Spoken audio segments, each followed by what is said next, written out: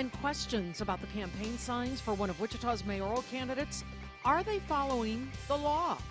And good evening. Thank you for joining us. Campaign signs for one of Wichita's mayoral candidates may be violating a city ordinance. This after KAKE News started asking questions, and we found out the city does plan to enforce the law.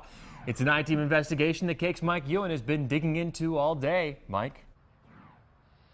Yeah, guys, the signs that are not in compliance involve more than just one candidate. And some of the signs, frankly, are hard to miss, like this one, Williams for Mayor sign, that is several times larger than your typical yard sign.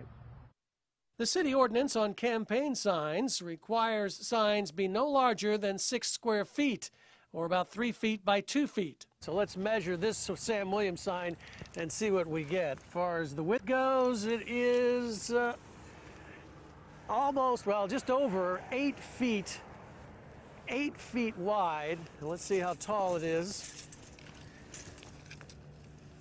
Eight feet by four feet. So, as you can see, it is over the limit. We contacted Sam Williams by phone. His schedule did not allow for an on camera interview. However, he did say his campaign is in discussions with the city about the issue.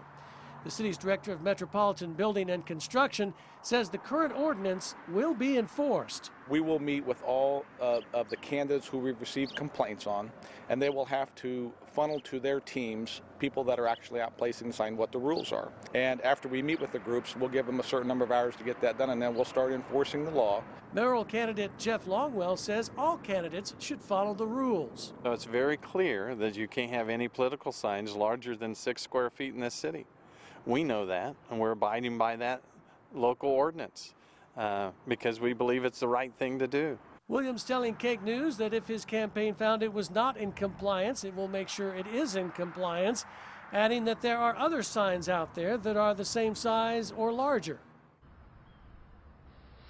Now, as, uh, as I said, there are some other large signs out there, some of which are outside of the Wichita city limits, so they don't apply to this. Stoltz says if you see a sign that is on public property or is too large and you want to report it to the city, you can do so, and they will try to take care of the problem. Live in northwest Wichita, Mike Ewan, KAKE News.